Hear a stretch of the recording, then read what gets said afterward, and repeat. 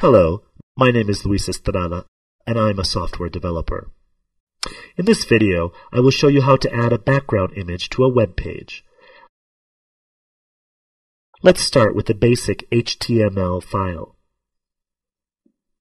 Go to the body tag and specify a new background attribute.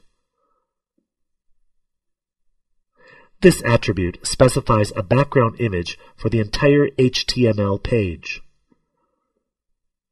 If the image is smaller than the browser, the image will be repeated until it fills the entire browser window.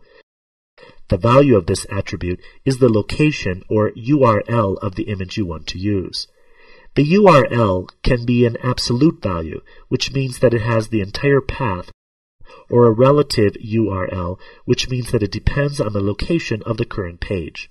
For example, Let's use an image inside the same directory as the HTML file to fill the background.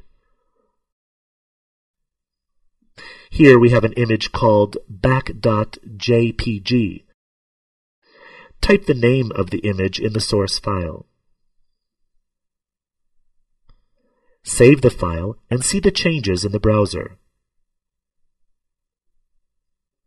If you want to use an absolute path, you have to write the entire URL. In order to get the absolute path of an image on the web, you can right-click on it, then select Properties and copy the location of the file.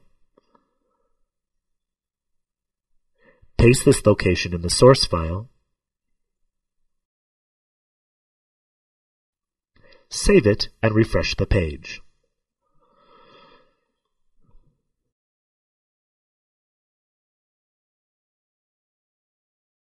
I'm Luis Estrada, and I've just shown you how to create web pages using HTML.